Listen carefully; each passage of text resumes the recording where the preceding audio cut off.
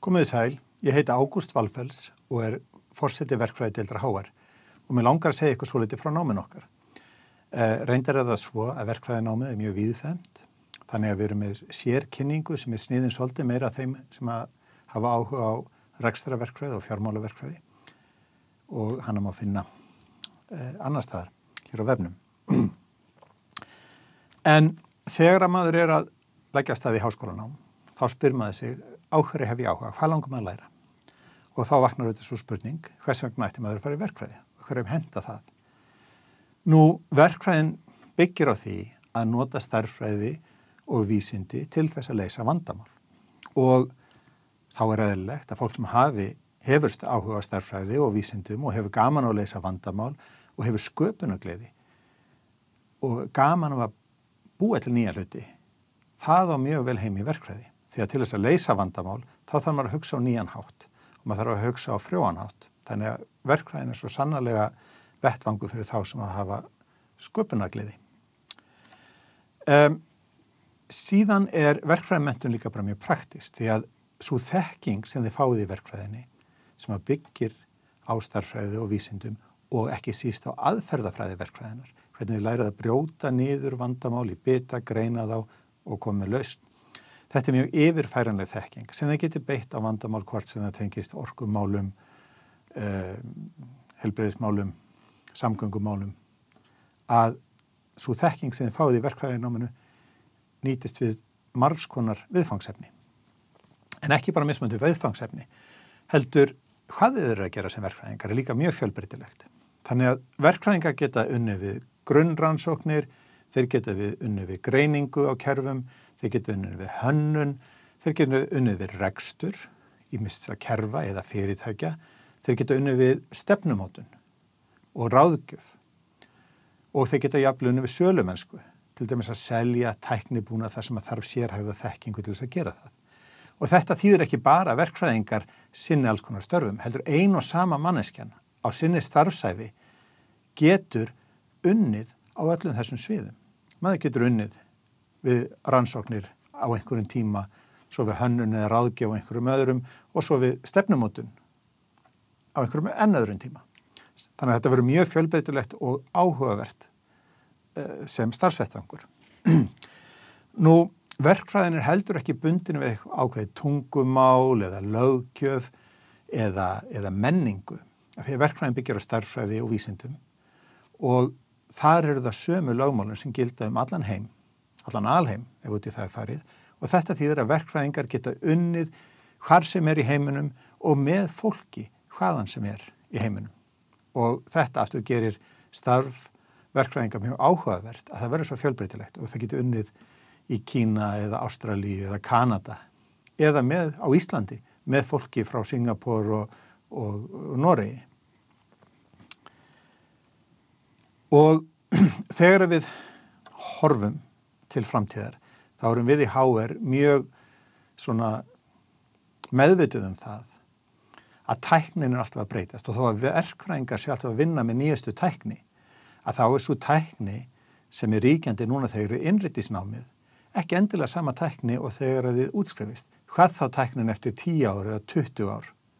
Þannig að við undirbúum okkar nefnendur þannig að þeir fá góða undirstöðu í fræðilegu hérna hliðinni, þar að segja í starffræðinni og vísindunum og líka í þeirri aðferðafræði sem að verkfræðinga beita í starfið sínu. Og þetta þýðir að þó að tækna sé að breytast, þá getur þið alltaf nota það sem þið læri hér til þess að tilengja einhver nýja tækni og ekki síst til að skapa nýja tækni sjálf. Þannig að það sem þið læri núna er varanleg þekking. Og síðan er það líka þannig að verkfræðinám er ekki bara fyrir verkfræðinga. Það er til dæmis fólk sem er langar að fara í viðskipti eða hefur áhuga á lögfræði. En sem starfsvið, en jáfnvel fyrir það fólk þá getur grunnám í verkfræði verið mjög gaglegt því að heimurinn sem við lifum og hærumst í er heimur tækni. Og til að fá insýni í þennan heim er einlega engin betri leið en að taka grunnám í verkfræði maður geti tekið grunnám til dæmis í vélaverkfræði og farið síðan í MBA og starfaði við fyrirtækjaregstur í framtíðinni Eða maður gæti tekið grunnnám í heilbreyðisverkfræði, farið síðan í framhalsnami lögfræði og einbeitt sér að hugverkarétti og engaleifarétti og þá er svo gott að hafa einsinn í tæknina. Og segjum sem svo að maður sé búin að ákveða sig að fara í verkfræði, þá vaknar næsta spurning, hvers vegna ætti maður að koma í HR? Nú, í fyrsta lagi þá hefur það með fólki að gera. Námsum hverfið í HR er mjög metnaðafullt. Það eru metnaðafullir nefnendur, áhuga samir sem að gaman er að vinna með Það eru kennarar sem eru líka mjög metnaðafullir og hvetjandi og vilja sannlega að nefnendur sínum vegna vel og nefnendur nái sínum markmiðum. Það er mjög góð stóðþjónusta hérna á bókasafni, nefnendaráðgjöf, upplýsingataknisviðinu, skrifstofunar, því að HR er tiltvölu að lítill skóli og, og svona persónulegur, okkur andum okkar nefnendur og það er mjög góður starfsandi hérna, bæðið meðal starfsmanna og nefnenda. Nú, og það snýra fólkinu en starfs aðstæðan líka er mjög góð. Húsnæðið við erum öllundur einu þaki, þetta er gott húsnæði. Nefnundur hafa aðgangað í allan sólarhingin, það er mjög mikið af, af vinnu, herbergjum og góð vinnu og náms aðstæða almennt nú og ef til dæmis þið fáðu einhverju hugmynd og verið hreint einhverju framkvæmt þá er líka mikið að verkstæðum hérna og við viljum hvetja nefndur okkur til þess að búa til að setja hugmyndina sínir á fast form og búa til hluti og við sköpum aðstöðu til þess mjög góða. Um, síðan er það þannig að námsuppbyggingin hjá okkur í verkvæðinu er heilstift. Eins og ég sagði þá trúum við á þennan eilifa sannleik, þennan sterka fræðilega grunn í vísindum og starfræði en við áttum okkur líka á því hvað verkefna vinna er mikilvæg. Því að verkefnavinna er mikilvæg bæði til þess að, að læra hérna verkfræðilegu aðferðafræði, hvernig maður brítur vandamálunni reyningar og, og leysir og svo framvegis. En verkefnavinna er ekki síður mikilvæg til þess að skerpa á fræðilega grunnun. Því ef maður er bara alltaf að gera heimadæmi og, og, og pæla einhverju svona fræðilegum hlutum á þess að láta á það að reyna, nú þá veit maður að lausninu heimadæminu er alltaf pí eða eitt fjórði eða eitthvað svo leiðis. En þegar maður þarf að koma fræðanum í einhvern búning og nota þetta þess að leysa verkefni. Þá rekum maður sig á. Kanski var maður ekki búin að sjá fyrir alla hlutinu sem þarf að taka til greina eða maður bjó ekki til nógu gott eðlisvæðilegt líkan af kerfinu sem maður er að gera eða starfræðilegt líkan og þá þarf maður að endur skoða fræðin og fara dýbra og hugsa virkil um þau og þannig að verkefnavinnan gerir maður miklu betur fræðilega eh, settan. Síðan er annað sem við vitum hérna í HR að það eru tveir skólar á Íslandi sem bjóð upp á verkfræðina Við erum lítið þjóðfélag og það er mjög mikilvægt fyrir þjóðfélagið að þessi fjölbreytileiki í þeim sem útskrifast með verk, verkfræðimendun. Það er að segja að það sé ekki, að kunna ekki allir nákvæmlega sem er hlutina og svo er eitthvað fólk sem kann ekki eitthvað annað. Og þess vegna viljum við hafa til til að fjölbreytt verkfræðina. En það skiptir ekki síðurmáli fyrir einstaklingin að geta skorið sig svolítið úr, skapa sér sérsvið, fyllt eftir sínum hugðarefnum. Og þannig að þessi sveianleiki sem við erum að reyna ítundur í náminu hann er líka mjög gaglegur fyrir einstaklinga, ekki bara þjóðfélagið heild. Nú við bjóðum upp á fjöldamerkar námsbröytir í verkfræði og eins og ég segið að þessari kynningu þá munum við kannski fjallum þær sem að snúa meira hlutum og kerfum, frekar heldur en fjármálaverkfræði og rekstraverkfræði sem að snúa meira að eh, kerfum en ekki hlutum. Um, við erum líka með tvær námsleiðir sem eru annars vegar verkfræði með eigin vali og eins vegar verkfræði með tölvunafræði og ég skal útskýra það nánar og eftir. Nú, uppbygging námsins tekur miða því að verkfræði heiti, verkfræði tititinn er lögvenda starfseti og maður fær lögvendun, lögvenda starfsetið eftir að hafa lokið mistragráðu í verkfræði. Og þess vegna gerum við það að við hugsum námi hérna í Háar sem fimm ára nám. Við byggjum upp lógist hannig. En það þýðir ekki það að ef þið innrita ykkur í verkfræði í Háar þá þurfum við að vera henni fimm ár. Þegar við passum líka upp á það að eftir þrjú ár þá er hægt að útskrifast með BS-gráðu á mjög lógiskum tímapunkti annarhort til þess að fara í eitthvað allt annað nám eða, eða til þess að fara út á vinnumarkað eða til þess að í framhaldsnámi verkfræði með einhvern annan skóla. En við passum líka upp á það að það er mjög lógist flæði öll fimm árin þið viljið klára meistaranámið líka í HR. Nú, annað sem er svolítið einkennandi fyrir námið í HR er, er hvernig annin eru byggðar upp. Við erum með það sem hvernig 12 pluss 3 fyrir komulag og þetta þýðir að í 12 vikur takið þið fjögur námskeið samhliða, síðan ljúkið þeim, takið próf og þá hefst nýjan sem er þryggjaveiknan og þá er þið bara einu námskeiði. Og yfirleitt er þetta þannig að fjögra, eh, tólvikna námskeiðin eru námskeið þar sem að þarf svolítið tíma fyrir hlutina síast inn og meðtaka hugtök og hugmyndir og, og, og þannig. En þryggjaveikna námskeiðin eru þannig að ég minnst þetta bara hrein og klár verkefna námskeið þess að bara vinni ákveðinu verkefni eða þetta er svona sérhæðu námskeið sem byggja á því sem þið hefði lært í tólvikna námskeiðinum og þá þurfið ekki þennan sama umþóttunar tíma því að þeir eru meira æf ykkur í að nýta þá þekkingu og skerpa á þeirri þekkingu sem það fengið áður. Um, hins vegar er það svo að fyrsta árið er nánast eins hjá öllum verkfræðinum í háver. Það er bara á vorönn á fyrsta ári sem að nefndu taka sérhæft námskeið sem er sem sagt, ræðist af þeirra námsbraut. Og ástæðan fyrir þessu er að á fyrsta árinu erum að veita fræðilegu undirstöðuna í starffræð og eðlisfræði sem að nýtist öllum verkfræði nefnum. Og kostur við þetta er sá að það er tiltölu auðvelt að skipta um námsbraut, það er mjög auðvelt að skipta um námsbraut að afloknu fyrsta ári. Og það er svolítið gott að vita að því að þegar þið komið inn á fyrsta ári þið kannski völduð að fara að segja um í, í hátæknumverkfræði. En síðan kynnist þið ímsum svona hliðum verkfræðinar á, á, á, á fyrsta árinu og sjáuð að kannski hefði raun og verið meiri áhuga á vélaverkfræði og þá er mjög öðvöld fyrir ykkur að skipta úr hátækniverkfræði yfir í vélaverkfræði. Nú, það sem er svolítið einkennandi fyrir verkfræðina er að við byggjum inn í forritun og gagnavinnslu í námskeið fyrstunar, það er að segja í starffræðinu og eðlisfræðinu og námskeið sem heitir orka. Þar erum við að kenna ykkur líka forritun og að vinna með raunveruleg gagn. Og síðan er hérna námskeið sem heitir hugmyndavinna á fyrsta misseri þar eru nefndur að fást við svona einlega hálgerða þrautalösnir og svona eh, að, að, að glýma við opi vandamál og síðan er í lok fyrsta misseris er námskeið sem heitir ingangur verkfræði. Þarna koma nefndur öllu námspröytum, vinna saman í hópum við að, að vinna að svona einhverju stóru óafmörkuðu vandamáli. Og þetta er þá yfirleitt undir einhverju svona sjálfbærni hætti þannig að nefndur hafa unnið að hvernig ég að takast á við hérna, lofslagsbreytingar eða um plastendumvinnslu og slík vandamál og þá erum við að æfa því að nota þetta sem við lært í starffræðinu og eðlisfræðinni og beita aðferðafræði verkfræðinar til þess að taka svona magnbundnar ákvarðanir um, um hvernig ég að glíma við vandamál. Uh, síðan er eitt námskeið á, á vorun á fyrst ári sem heitir Nýsköpunarstofnum fyrirtækja og þar vinna saman nefnendur öllum deildum HR við það að, að koma einhverju svona nýsköpunar hugmynd á framfæri fyrir að læra hvernig að, að, að hérna, gera viðskipta áætlun, hvernig að móta hugmynd og svo framvegis.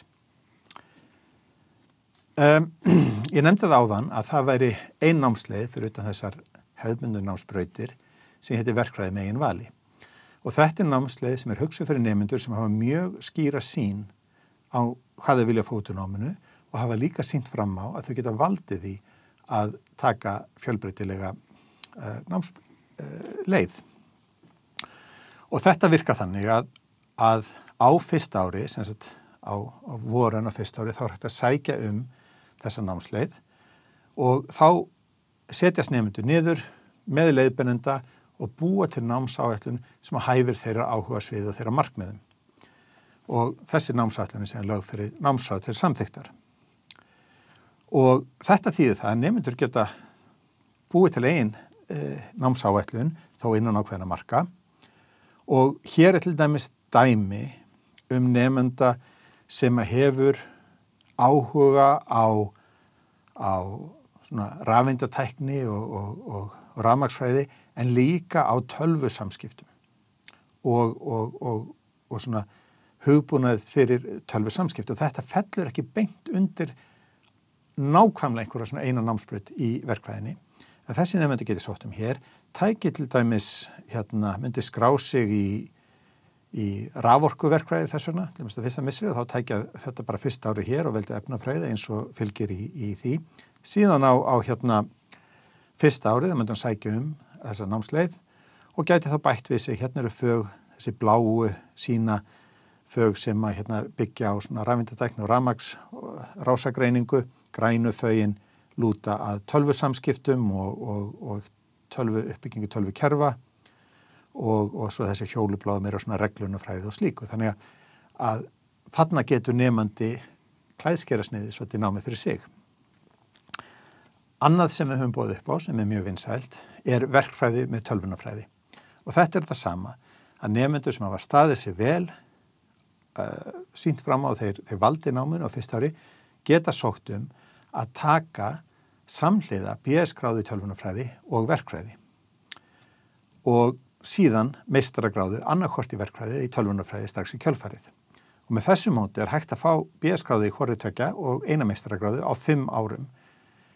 Og yfirleitt tækið það sex ár fyrir nefndur að gera þetta ef þeir vundu ekki velja þessa leið. Og þetta fælst í því að öll valnámskeið eru í verkfræðinni, eru þá tekinu tölvunafræðinni til þess að uppfylla kröfur tölvunafræðinni um BS-gráðu. Síðan er tekið sömarun á fjörðári og sömarun á fymtári til þess að líka við meistarverkefni og þá útskrifast nefndur á fimm árum með þess að tvær gráður. Þetta flýti fyrir en á móti kemur að þetta snýður kannski val, valinu svolítið þrengri stakkin ella. Uh, eins og ég nefndi þá er verkefna að vinna mjög mikilvæg af því að hún styrkir fræðilega skilningin, hún veitir svo mikla þjálfunni aðferðafræði verkfræðinar og gefur líka svo mikla æfingu í teimisvinna. Það er að segja að fólk læri að vinna með nefnendum með svolítið mismunandi bakgrunn eða, eða þekkingu eða jáfnveil personleika og, og læri að, að njóta styrkleika annara til þess að, að búi til svona sterkari heild. Og hér er til dæmis mynd af, af nefndum sem voru nú í námskeiði sem heitir Mælitækn og lífsmörg í, sem er námskeiði heilbreyðisverkfræði. Þau voru að, að vinna, eru að vinna rannsóknum á hérna sjóveiki og, og svona reyfiskinjun. Hérna er, er nefndi sem að stendur upp á svona palli sem að færist til og hér er svona skjár, það sem er síndaveruleiki, þannig að nefndi getur verið eins og bát sem að ruggar, pallurinn færist í takt við myndina sem er, þannig að það er alveg eins og maður sé út á sjó, maður finnur reyfinguna og þessi nefndur voru sem sagt í verkefnavinna á þessu og afraksturinn er vísindagrein sem þetta er reyturundu vísindatími sem er mjög óvenjulegt almennt fyrir nefendur í BS-námi en, en reyndar höfum við talsfærs mörg dæmum það hér í HR að, að nefendur í grunnnámi hafa tekið þátt í rannsóknum og byrt greinar í virtum vísinda, alþjóðlegum vísindatímareitum. Nú eitt sem ég langar líka nefna að allir nefndur í BS-námi taka námskeið sem heitir verkfræð X og hugmyndin á baka þetta námskeið er svo að nefndurnir fá eitthvað viðfangsefni sem þeir eru að búið til laust fyrir einhvern kuna sem getur verið fyrirtæki eitthvað staður út í bæ eða það getur líka verið eitthvað staður smáður háskólan sem er með einhverja rannsókn eða vantar eitthvað búnað. Nefndunum þurfa að gera þarfagreiningu, þeir þurfa að taka viðtöl við, við kunan og koma staði hvað hann vil fá út úr lausunni, hvað er gerulegt, hvað er ekki gerulegt og læra allt þetta hönnunaferli og beita hönnunaferlinu síðan á þennan hlut sem þeir eru að, að, að, að vinna með og ljúka hannunni, smíða frumgerð og prófana og það er að uppfylla það það sem er, er stóra hugmyndafræðina bak við verkfræðina með HR er að nefndur læra að taka þetta frá hugmyndastígi yfir í hönnun og smíði og rekstur. Að taka allt verkfræðiferðið. Þetta er mjög mikilvægt og gaglegt. Nefndunum myndur þá að fá viðfangsefni sem væri svolítið mismunandi eftir hvað námsbreytið eru í. Nefnundur í heilbreyðsverkfræði getur til dæmis fengið það viðfangsefni að hann har skurstofu á meðan að e, nefnundur í orkuverkfræði getur fengið það viðfangsefni að búa til hérna, varmaskipti til þess að nýta afgangsvarma við álver til þess að hitta vatni, hitta veitu, e, segjum á reyðarferði. En fyrir utan hefðbundunámskeiðin þá er líka búið upp á starfsnám, við bjóðum upp á skiptinám og við bjóðum upp á sjálfstæðverkefni. Þannig að starfsnámið það er hægt að taka í BS-náminu sex einingar í starfsnáminu og þá má bæta við sér sex einingum í meistaranáminu. Uh, skiptinám er ímistrekið í gegnum alþjóðaskrifstofuna og þá geta nefndur farið verið önn eða tvær við samstarfskóla okkar öðlendis eða stundu nýtum við líka persónulega tengingar starfsmanna til þess að nemyndur geti færið og, unni við rannsóknir eða verkefnavinnu með samstarfsaðilum okkar við Háskóla Erlendis. Eh, síðan bjóðum við upp á sjálfstæðverkefni og þar geta nefndu fyllt eftir hugðarefnum. Til dæmis var nefndi sem hafði áhuga að búa til svona eh, dróna bíl eins og hliðstæði þess sem við verum að senda til Mars, eh, sjálfstýrðan bíl sem byggjar á tölvisjón til þess að, að keira um. Það var sjálfstætt verkefni sem að nefndi vannað undir leys og gleðbennenda við skólan. Aðri nefndur hafa áhuga að taka þátt í rannsóknum og vinna í, fá að taka þátt í rannsóknastarfi því sem fer fram innan háskólans því að það er mjög mikið rannsóknastarfi verkvæðitildina. Og nefndur hafa fengið að gera það og hafa þá margi hverjir fengið að taka þátt í rannsóknum sem leiða til byrtingar í, í vísindatímariti. Hérna bara allir gamans er hérna, mynd af kísil nanovýrum sem hafa verið smíðaður við verkvæðitildin í HR og nefndur hafa verið að vinna við að gera mælingar á rafveginleikum þeirra. Nú við HR tökum við skólagjöld, þau eru reyndar fremur hófleg en einhvað síður er þetta fjárfesting en hún skilja sér í því að, að nefndur í verkvæði eru útskrefast almennt á réttum tíma og það gengur mjög vel að fá vinnu að loknu námi. Síðan eru alls konar styrkir í bóði til þess að fella niður skólagjöld fyrir efnilega nefndur.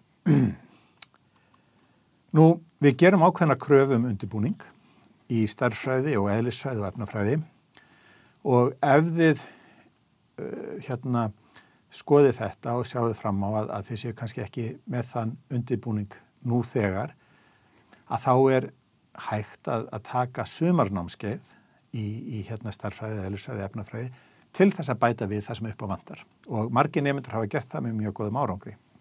En þá skiptir svolítið máli að hafa samband snemma. Þannig að ef þið hafa áhuga á að sækjum hjá okkur þá skulle þið gera það sem fyrst umsóknarfrestur til 5. júni en það borgar sig að senda en umsókn með fylgjagögnum eins fljóttuði getið því að þá getum við skoðað umsóknuna séð ef eitthvað vantar upp á og ráðlegt ykkur að taka sumanámskeið ef að þörfir á.